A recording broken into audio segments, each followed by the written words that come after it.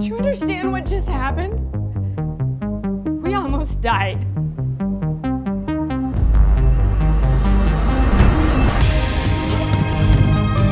You're so fired. Everybody remain calm. Just breathe.